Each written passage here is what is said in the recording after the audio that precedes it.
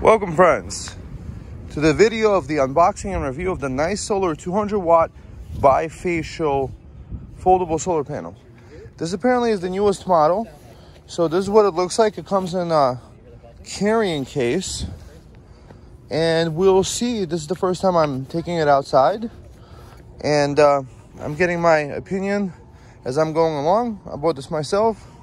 Nobody sends me free stuff. Uh, even if they did, I'd, I'd, prefer to buy my own stuff. So uh, let's see what it looks like unboxed. So this is the suitcase unfolded. And what we have here looks like a solar panel connector. It looks like this guy plugs into here. One of the reasons I actually like this solar panel is these uh, connectors over here. Apparently this one can do up to 65 watts power delivery to a laptop and I think like an 18 watts. You see over here, we have the different wattages.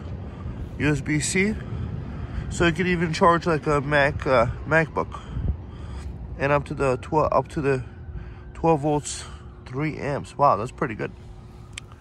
So let, us just see what kind of wattages it has. One of the questions to ask yourself is, can it do all three ports at the same time? Can it do um, the laptop charging together with charging your battery bank together with charging your cell phone? So maybe we'll do it in this test, maybe in another one. However, let's just look at all the functionalities that we have. So what I like about this setup thus far is that it comes with this cable so that's an XT60 connector. So it's up to 60 amps, obviously. And um, it has all these different uh, jacks for different uh, types of uh, connections. So I'm a favorite of the Anderson connector right there in the middle with the red and black. Uh, however, these different other ones can work with various different other po power stations and maybe even laptops. Um, so I like this, I like that. The, the stand over here, it feels like it's a nice fiberglass one. And so let's read over the instructions real quick. So that's the Nicesolar instructions. Let's read it over. What do we have here? So peak voltage is 21 volts. Open circuit is 24. Peak power, what? 100 watts? There's a 200 watt panel. You friends definitely don't know what you're writing. Okay, oh, because it's the 100 and the 200. So we're looking at the bottom one. Peak 200 watts. let's see, 200 watts. Short circuit, open circuit is 22 volts peak current 10 volts, peak voltage 19 volts. Okay. So it's a standard 12 volt panel. The output ports. DC takes precedence over the USB-C, which limits the power of USB-C to a maximum of 10 watts when both DC and USB ports are used at the same time. USB-C and A do not support fast charging, so we don't even have to test this. We could actually um, just read the description here. So DC works with smartphones, work with power banks. DC takes precedence over USB-C, which limits the power of USB-C-A to a maximum of 10 watts when both DC and USB ports are used at the same time. So that answers the question. If I, I either want to charge a laptop or I want to charge a power bank, uh, otherwise it limits it to 10 watts. So while you're charging the power bank, I mean, at 10 watts, you could charge a cell phone pretty well. So I'm happy about that. Okay. Thus far, I'm liking this uh, manual. So we got the user guide, important safety notes, optimal charging conditions, warranty, okay, UK declaration, uh, we got where they got produced this stuff. And the rest is in another language. Okay. So thus far, what I like about this panel is that it's bifacial. So apparently there's an up to a 20% gain from having both sides to be able to absorb the light. We'll see what kind of power it outputs. So on a previous video, on my highest quality panel, which was the PV200, the Bluetti, my most expensive and the highest quality, the maximum I was getting was 150 watts. However, that was a different day and I didn't bring that panel out right now, not to uh, color this review any, any differently from just like you and I would get this package, literally open it up and see how it works. So I'm actually excited to see, can it do more than 150 watts that my best panel, 200 watt panel was able to produce on a decently sunny day, maybe with a slight haze. So let's see it in the next one. I'm gonna set this right up. So open circuit voltage on this panel is uh, 21 volts.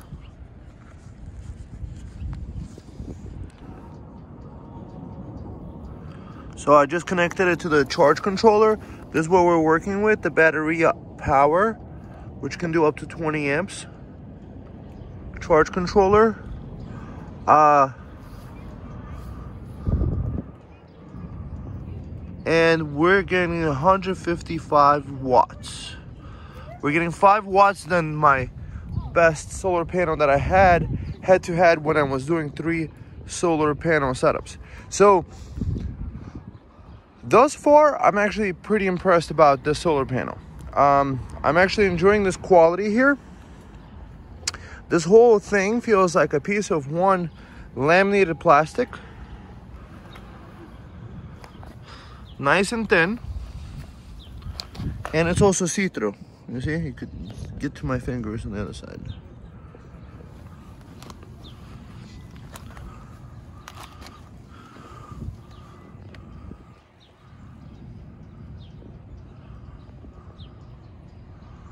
So bifacial panel. Can we get an extra gain out of this? I don't know. Perhaps maybe if I put aluminum foil back here. I would say I like these. These are nice and sturdy. Feels like it's made of the same plastic material like this. It almost kind of like feels like carbon fiber. I like the thin of it, thinness of it. I also like the carrying case that comes along with it. That's nice. These stands are nice. I also like these grommets that it has on all four corners. So it's actually easy to possibly hang it up. I like the handle, so it makes it nice to handle. I like that it produces about five watts more power than my best PV200 solar panel.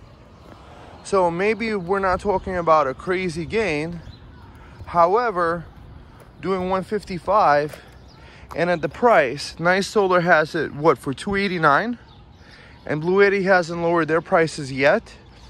Uh, their PV200 panel is about 400 I haven't seen an um, on sale maybe less than three. Uh, don't don't count me on that. I like that it has this connector port. That's very convenient. So if you wanted to, you could just charge your laptop and let's say a cell phone probably at once when you don't have it charging a battery pack. Let's see what it's charging right now. 154 watts, stable. So what we're getting is about a stable 152, 155 and the sun is pretty clear in the sky. The sky is as clear as it could be. So what is my takeaway for this panel? I would say having the other panels, um, there's a convenience to those other ones because it, it's all in one. Um, what I mean is this, the single-sided panels allow them to put a little pouch in the back so you could actually put the cord in the back. However, here you have this um, the carrying case. So that's kind of nice.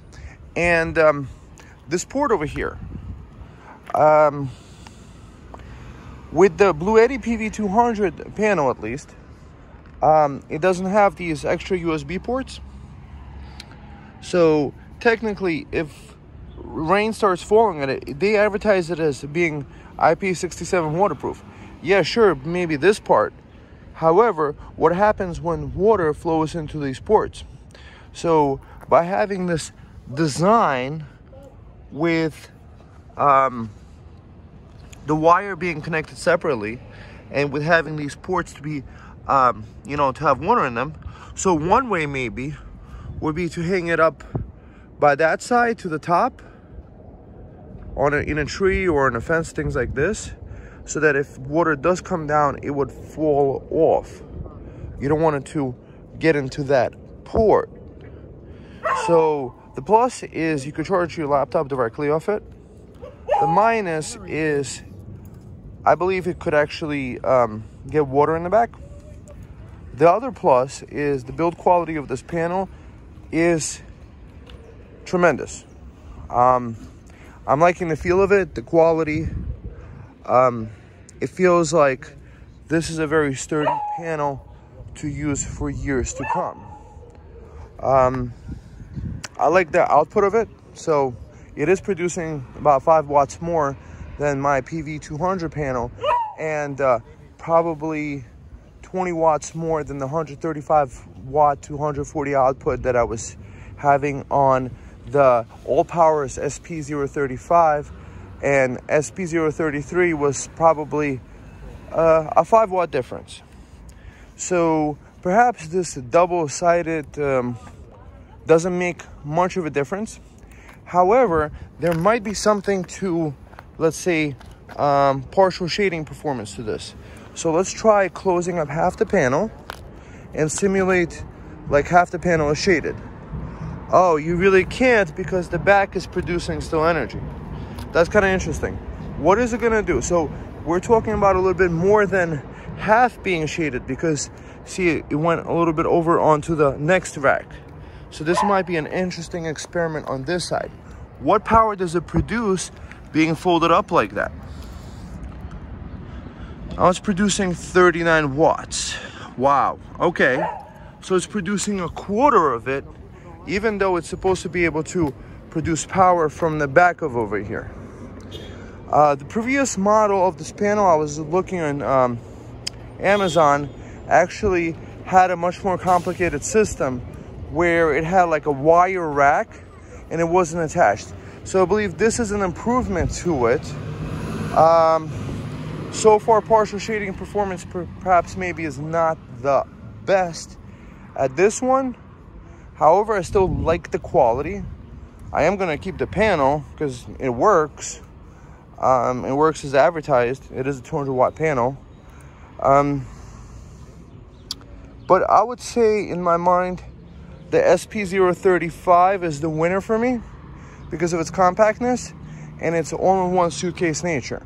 So you see this one, you have a separate wire. So this is a point of failure. This could get lost. Uh, there's an extra suitcase thing. So that takes up space.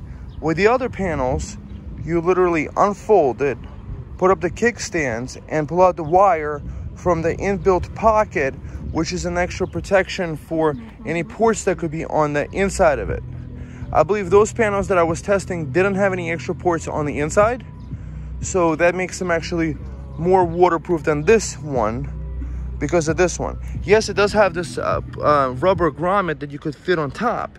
However, when you have some wires plugged in here, the rubber grommet is off. You see? So it's not blocking that port. Um, okay. So let's see. What other partial shading performance can we test? So it did produce a quarter of the wattage However, let's see maybe one more partial shading test, throwing a jacket in the middle. So throwing a jacket in the middle. Partial shading test. Let's see what we have here. We're producing 82 watts with a jacket in the middle like that. Okay. Uh, that's pretty reasonable. So it's producing about half with half of it being shaded. Uh, it's up to you guys. So um, I would say this is a plus. Let's say if you have a MacBook, being able to connect directly to it. So work on your solar panel. However, if you're on the outside, what kind of internet connection do you really have to be able to use your MacBook?